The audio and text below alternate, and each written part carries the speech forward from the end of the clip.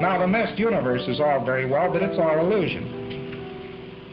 One doesn't want an illusion, so he can't have an illusion. And when he was very young, why, Christ was all right. He was very friendly, as a matter of fact, he, and so on. But that's mostly people, you know, they, they have to believe in that sort of thing. And they did once, but it requires nothing but faith. And, of course, they can't have any faith anymore. And they, they did have hopes on that once in a while, but actually religion doesn't lead anybody anyplace in the final analysis because you never get your wish anyway. So, of course, one can't survive on the basis of spirits and, and religion and so forth so that leaves us.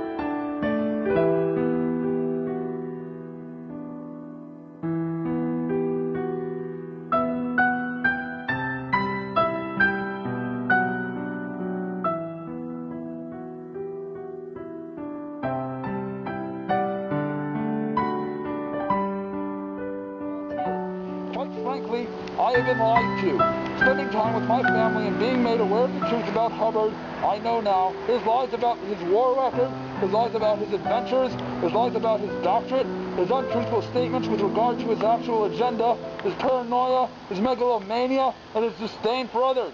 If the man lied about himself, he cannot possibly come up with any truth with regard to mankind.